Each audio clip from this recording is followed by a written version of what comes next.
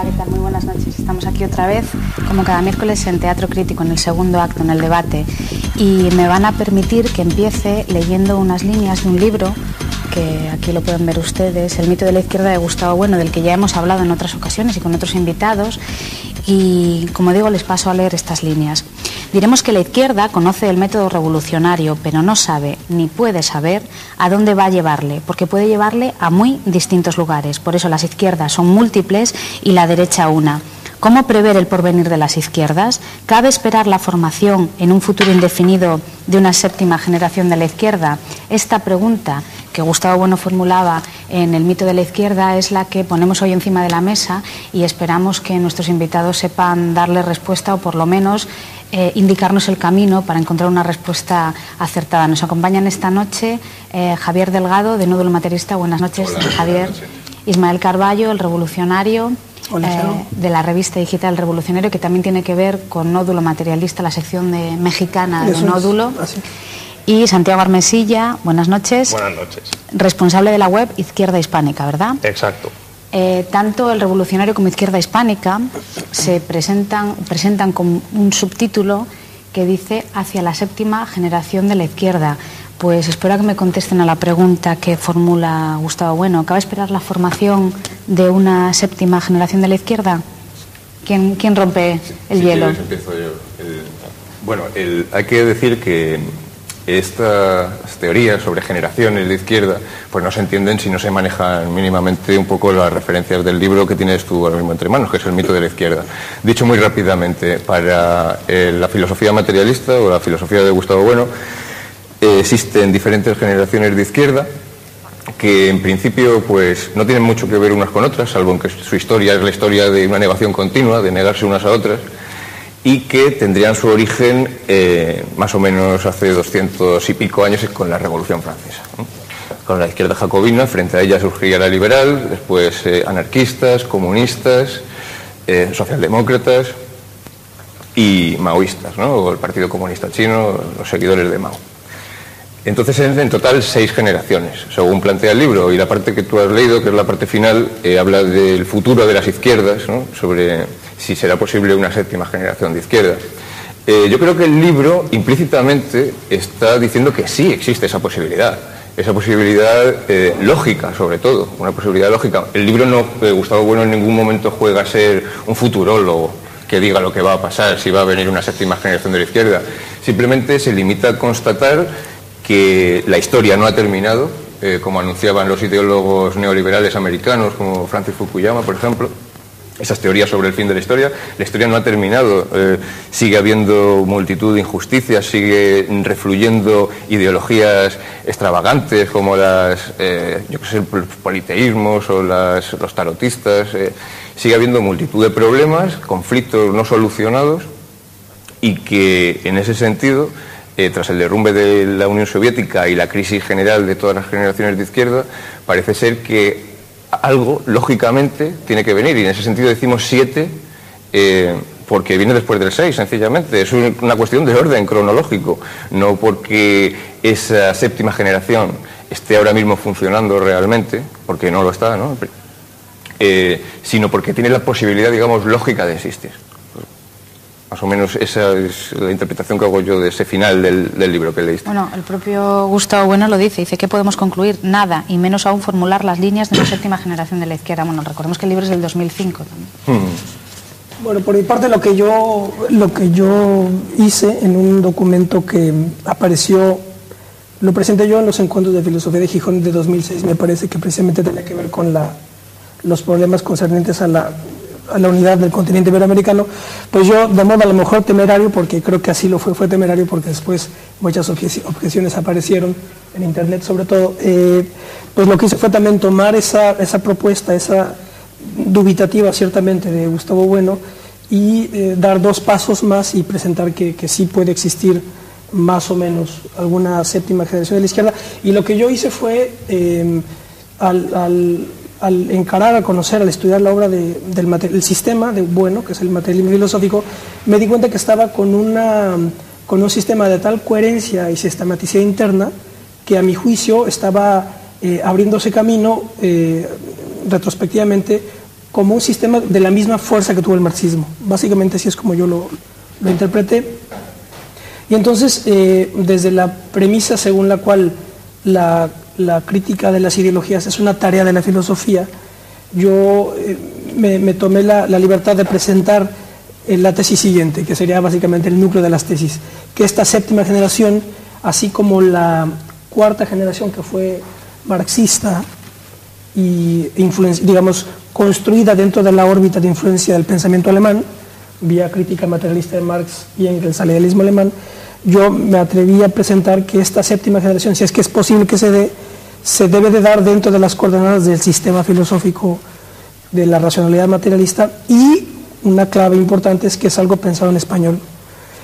La diferencia es que lo estamos diciendo, o por lo menos yo lo planteé de modo, de, modo ya lo, lo, lo puse sobre la mesa, porque a lo mejor la Segunda Internacional y las internacionales sucesivas organizadas desde claves marxistas, nunca decían que ellos estaban ejercitando la influencia alemana, por ejemplo, o, o el propio, la propia Unión Soviética, no necesariamente ellos presentaban que su influencia o que su propósito era influir en la, en la organización de un imperio desde coordenadas soviéticas o rusas, no lo decían.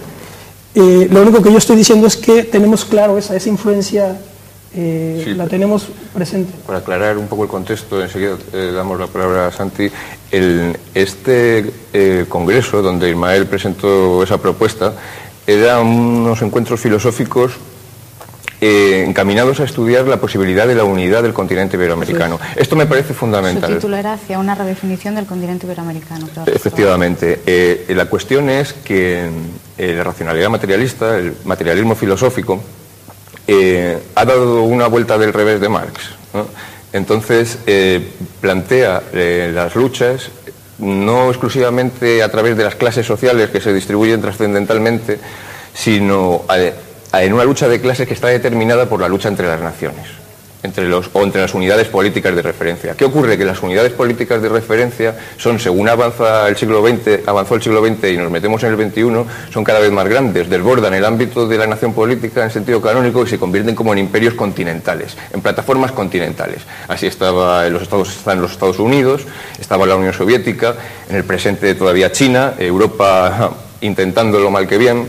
Este, estas digamos, como una teoría de placas tectónicas, en el sentido político, eh, la tesis de Ismael lo que pretendía era eh, ver hasta qué punto se podía unificar políticamente el, el continente iberoamericano. ¿Por qué? ¿Por qué suponemos que es posible siquiera? Pues por una unidad cultural de base, el idioma, eh, la religión, la historia, aunque muchas veces las relaciones con América se interpretan de diferentes modos. Luego hablaremos de eso, de cómo se interpretan las relaciones con América y cómo estas relaciones con América son fundamentales para, para tratar este tema de la izquierda. Es decir, cómo se relacionan España con América. Cómo se, cómo se relaciona América con Estados Unidos. Es decir, la posición tradicional de la América hispana ha sido de sometimiento a los Estados Unidos desde la doctrina Monroe hasta nuestros días prácticamente desde que consiguieron la independencia de las naciones iberoamericanas, ha estado sometido al, digamos, al yugo de los Estados Unidos y a los intereses del imperialismo depredador de los Estados Unidos. La cuestión es, ¿se sigue así? Sería el primer modelo. ¿Se planta cara a eso olvidándonos de la tradición española y basándonos en los indigenismos, en la Pachamama y este tipo de teorías? ¿O una tercera opción, se planta cara a Estados Unidos y al imperialismo depredador contando con España y con la tradición hispánica. Esta yo creo que sería la postura que toma Ismael en ese escrito, las tesis de Gijón, es decir, conectar con la tradición hispana, no con la tradición que nos lleva al indigenismo o a esas teorías pues irracionales del modo de vida bárbaro o de teorías pues científicas totalmente absurdas, ¿no? Y, la cuestión es esa. Eh, América Hispana tiene esas tres opciones y en ellos está ellos mismos la que van a tomar. Y la cuestión es cuál van a tomar, cuáles son las mayoritarias, cómo, qué fuerzas pueden actuar en ellas y si en ese eh, resultante de fuerzas puede surgir o tiene cabida una generación de izquierda nueva, debido principalmente a que las otras están totalmente en crisis, la comunista, la anarquista y bueno, la socialdemócrata tiene su pujanza en Europa. ¿eh? Habría que... Bueno, Santiago, que pedía sí. la palabra. Yo quería decir, en principio, que cuando Ismael ha hablado de temeridad, cuando él presentó las tesis de Gijón, yo no creo a mi juicio que fuese una temeridad, creo que más bien que fue una valentía, porque el temerario se diferencia del valiente en que el temerario hace algo y no, no ve las consecuencias de lo que hace. yo creo que cuando él escribió las tesis de Gijón, eh, asumió una posición muy valiente en sentido filosófico y político porque él tenía claro dos cosas. Uno, que el materialismo filosófico podría servir de plataforma para generar una nueva ideología política, en el caso de que sea posible formarla, y, en segunda, y la segunda consideración que yo creo que él tenía en mente era que en el continente iberoamericano se estaban realizando desde hace bastantes décadas, pero particularmente desde los años 70 hasta ahora, una serie de procesos políticos y de luchas políticas muy particulares que no se daban en ninguna otra parte del mundo y en las cuales el componente marxista, aunque yo creo que demasiado difusamente, eh, estaba ahí presente. Entonces de ahí, por ejemplo, eh, nosotros creamos la web izquierda hispánica. La web izquierda hispánica es una consecuencia, uno, de, la lectura de, de, tres textos. Primero, el mito de la izquierda, de Gustavo Bueno. Segundo, las tesis de Gijón, de Ismael. Y tercero, un libro que, bueno, yo desde que tengo uso de razón siempre nos han dicho en la escuela en España que, que Marx nunca se ocupó de España, que nunca se ocupó de Iberoamérica. Y no es cierto, he traído este libro, que lo voy a enseñar a la cámara escritos sobre España de Carlos Marx y Federico Engels, que son una colección de relatos que escribieron ambos autores para un periódico llamado exactamente de Chicago o de, no, de Nueva York. Nueva York. Daily Telegraph. Eh, exactamente.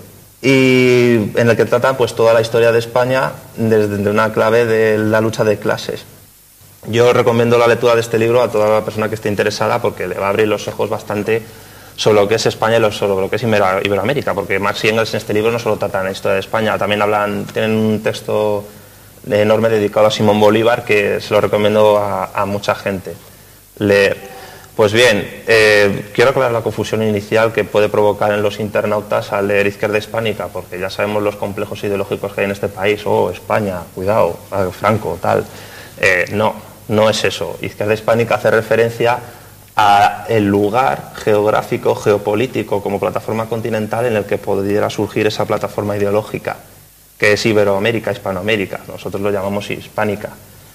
Em, creemos que es posible que se produzca allí, porque hay un caldo de cultivo político, de luchas ideológicas, y hay un caldo de cultivo, filosófico, que es el que está sembrando el materialismo filosófico con todas las dificultades que eso conlleva y también por contraposición a lo que Bueno llama el maoísmo izquierda asiática.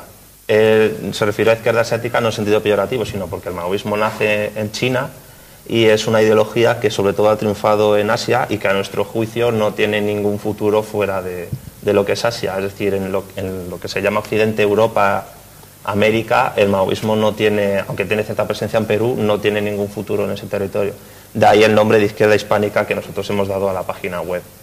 Una vez aclarada esta, esta controversia de nomenclatura que nos ha traído por la calle de la amargura a nosotros, pues yo creo que podemos seguir el debate con las preguntas que tú plantees. Antes de que siga, quiero que me aclare una cosa de su web de Izquierda Hispánica. Tienen un lema muy singular, por el socialismo hacia el imperio y por el imperio hacia las estrellas. ¿Qué estrellas? Porque a mí a, voz de pronto se me ocurren pues, las de la bandera de la Unión Europea, las de alguna otra bandera, las estrellas celestes, ¿verdad? No, eh, el lema surgió más que nada porque tomando la idea de, de imperio generador en contraposición con el imperio depredador anglosajón, eh, dijimos, eh, ¿qué, debe hacer, ¿qué debería hacer Iberoamérica para plantar cara a la política, digamos, disgregacionista en favor del neofeudalismo que tiene Estados Unidos con el continente, cosa que se está viendo, por ejemplo, ahora en Bolivia, eh, con, con, la pretensión de que se separe Santa Cruz del resto del país, que es prácticamente media Bolivia, se quiere separar de, de la otra parte de Bolivia, o haciendo que Ibarreche vaya a Stanford a dar una charla, aprovechando que el cargo máximo de esa universidad es un vasco francés, eh, nacionalista étnico, pues dijimos, se tiene que constituir como una unidad política intercontinental que plante cara a Estados Unidos, que presente un proyecto político concreto de futuro y que sea un proyecto no solo para los iberoamericanos, sino para todas las sociedades políticas y humanas del mundo. Por lo cual dijimos, por el socialismo hacia el imperio. Solo eh, un socialismo genérico conectado con uno específico puede hacer que Iberoamérica se constituya un imperio que tenga un efecto universal en el resto del mundo. y hacia las estrellas es hacia la universalidad. Por, Sí, lo, cual, decir eso. por lo cual nosotros creemos que la izquierda iberoamericana tiene que ser una izquierda universalista, Claro, antes que nada. De Ese es el modo de- que utilizas para referirte a la universalidad. ¿no? Claro, sería una izquierda universalista. Hay uno de los supuesto. problemas graves que digo, funda- perdón. El problema grave lo dejamos para después de publicidad. Enseguida volvemos. Hasta ahora.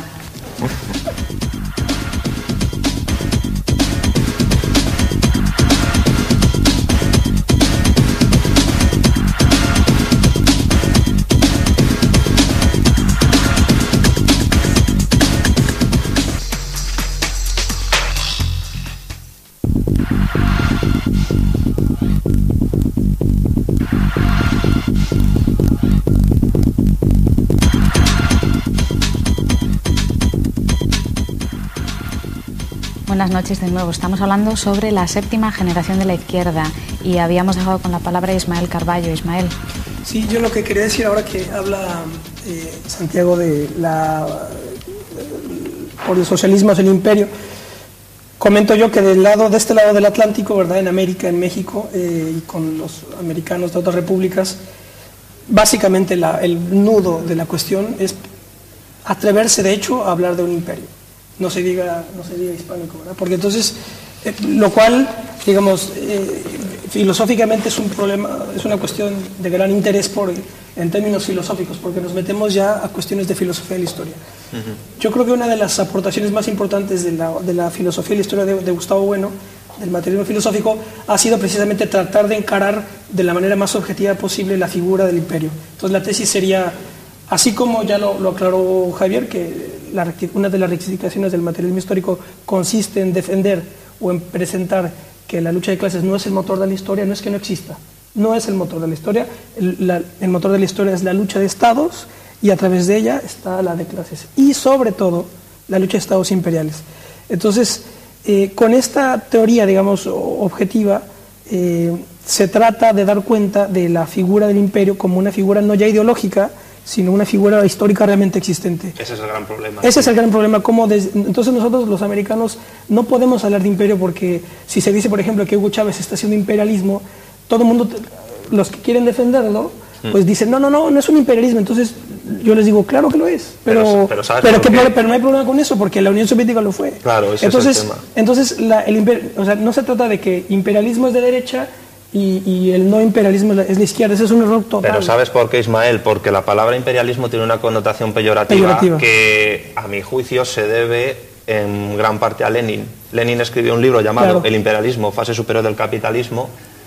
Mm, Yo no niego los méritos de Lenin, ni mucho menos. No voy a ser yo quien, quien critique su gran labor ideológica y política, pero ese libro ha hecho mucho daño, ideológicamente hablando. Y hay un profesor español con mucha valentía de economía llamado Diego Guerrero que ha criticado ese libro y ha dicho que el imperialismo no es la fase última del capitalismo y da una serie de razones. Se puede encontrar ese texto en la web, en la página de la revista Nómadas de Filosofía, dirigida por Román Reyes. Y yo invito a la gente que nos está viendo que busque ese texto porque es aclaratorio totalmente. Yo creo que hay que llamar a las cosas por su nombre. Y entonces cuando se dice imperialismo no se refiere a vamos a ir a un poblado indígena, o vamos a ir a África, les vamos a dejar sin, sin agua, la vamos a privatizar, vamos a hacer que paguen dinero por quitar un candado y beber agua.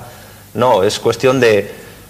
Es un Estado eh, intercontinental, mm, homogéneo políticamente, en el cual haya eh, los mismos derechos y obligaciones para todos, pero que tenga una forma de actuación que pueda influir en el resto del mundo. De eso se trata.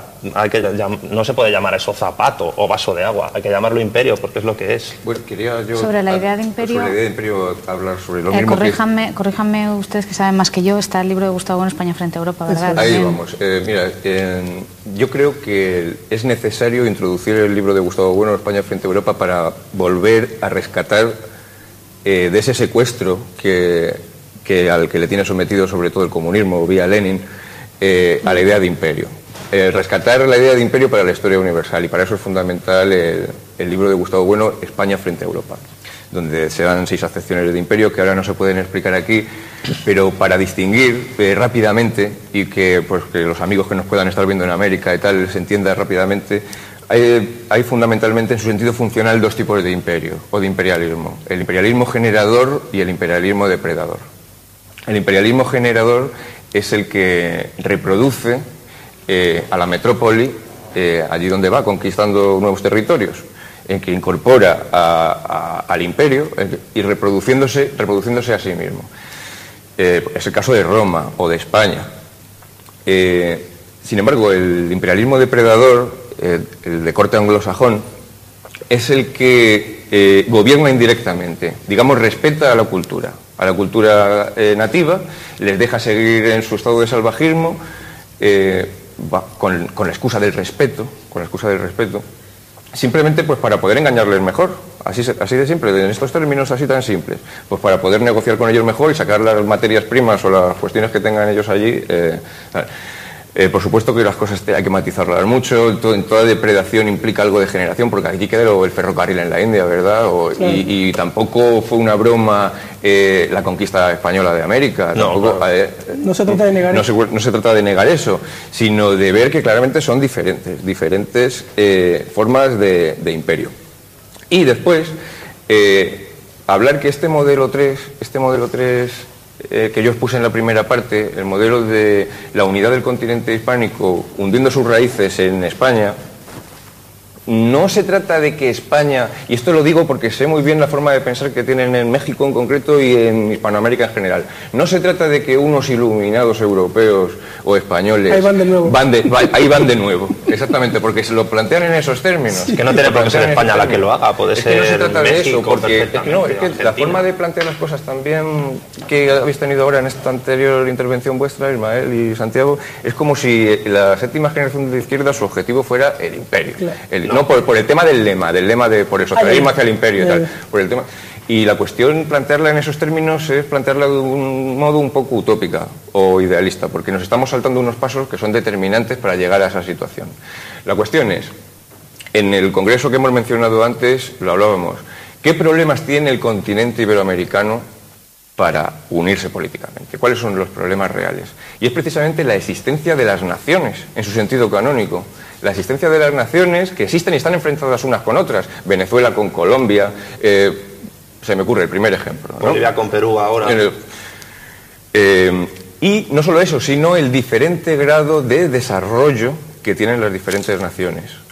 Eh, Aquí, bueno, en la Unión Europea hemos tenido ensayos, ¿no? Porque las naciones que componen el club también tienen diferentes niveles de desarrollo y ha habido que dar ayudas a unas, eh, otras apretarse el cinturón, etc. Y hay que entrar en un baile ahí termodinámico entre las naciones antes de destruirlas. Es decir, que el primer paso es la confederación.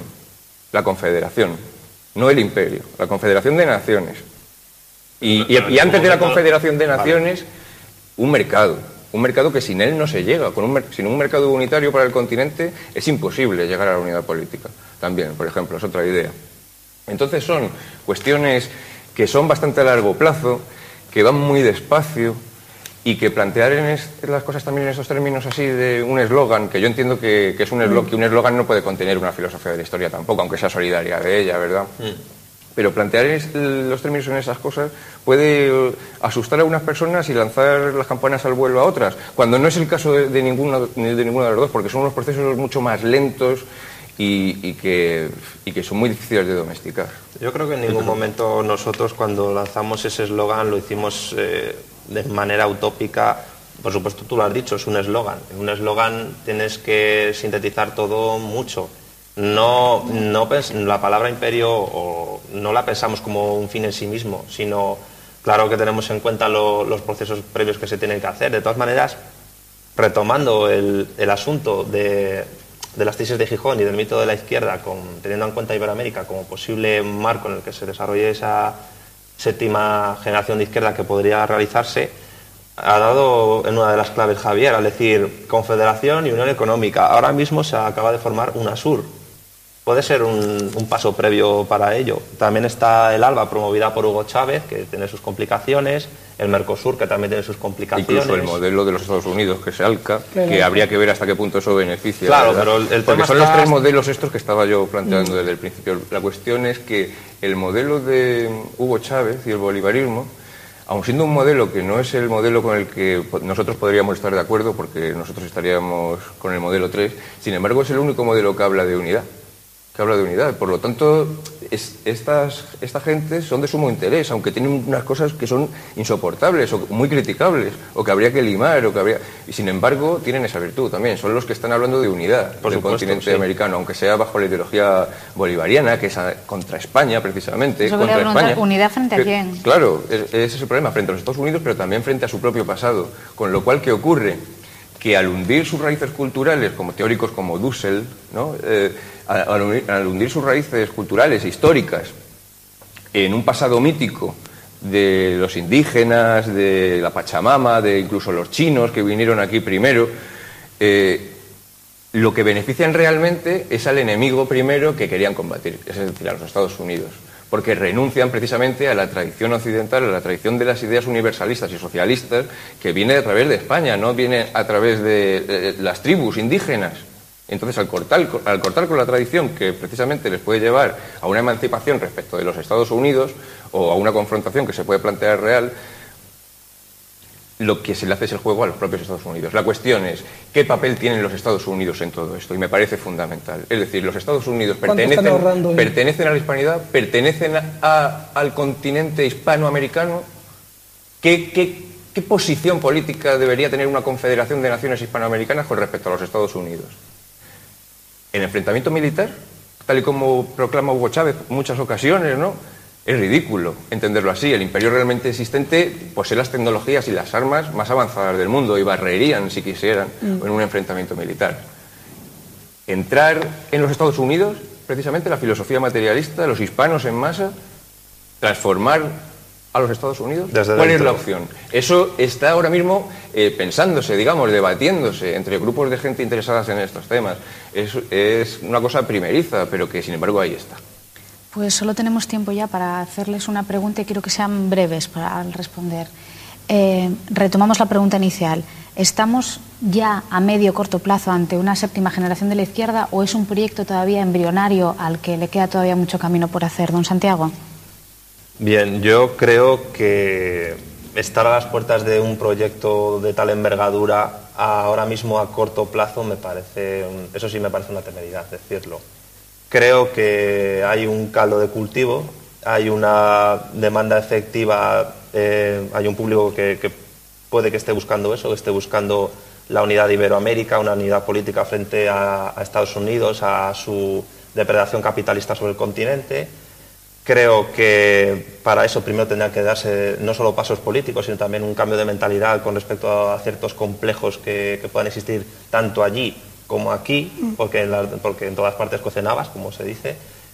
Y creo que debería haber una reflexión bastante profunda en a ambos lados del, Atlántico sobre, este, sobre esta cuestión tan importante, porque probablemente tanto Iberoamérica como, como España, Portugal, porque habría que discutir también si los países de habla portuguesa entran dentro de, este contexto, tendría que pensar exactamente dónde queremos ir, a dónde queremos llegar, contra quién nos enfrentamos y qué proyecto político quere- queremos configurar. Creo que nosotros estamos empezando a dar una propuesta sólida eh, frente a otras que no- lo único que hacen es dar vueltas sobre temas y no llegar a ninguna parte. Ismael. Yo suelo decir también que está perfilándose algo hacia la séptima generación de la izquierda. La única claridad que sí se tiene de modo inequívoco es la, el control, la posesión de un arsenal crítico que es el sistema del materialismo filosófico, que caída en la Unión Soviética, en el medio de la crisis del relativismo y el nihilismo que está imperando en Occidente sobre todo, es lo más consistente y sistemático que hay. Y a mí, de hecho, me interesa decirles aquí en España que deberían de reconocer a Gustavo Bueno como uno de los pensadores más importantes que este país ha dado en el siglo XX y que si aquí no lo reconocen, por lo menos en México sí lo vamos a reconocer. Yo pienso que es posible también. Yo pienso que aquí con mis compañeros que es posible que lo más difícil está hecho, porque lo más difícil es lograr que 500 millones de personas hablen un idioma y se puedan entender. Lo más difícil que son sistemas filosóficos de los cuales puedan emanar, emanar no, quizá no sea la palabra exacta, en los que puedan inspirar, en los que se puedan inspirar ideologías políticas determinadas está el materialismo filosófico, que está en plena forma y expandiéndose cada vez más por toda España y por América. Y en ese sentido, el arsenal crítico que, que proporciona el materialismo filosófico es precisamente las ideas que podrían tener una, nueva generación de izquierda, unidad del continente iberoamericano, eh, antiindigenismo, eh, eh, ser críticos con todas las, las pseudo-religiones, en fin, son, se adapta perfectamente y en ese sentido, como en expansión está la hispanidad y en expansión está el materialismo filosófico, la cuestión es conjugarlas hay una ventaja que el materialismo filosófico viene expresado en español, como también. Entonces, yo soy optimista. Creo que se puede lograr, sobre todo si hay realmente una demanda efectiva de gente que demanda estas ideas porque las necesita. Pues muy bien, gracias a los tres. Eh, como esto se transmite también a través de Internet, eh, le damos las gracias también a nuestros 400 millones de televidentes potenciales, porque hablan español y han entendido perfectamente esta charla por estar ahí. Y nos despedimos hasta el miércoles que viene. Buenas noches.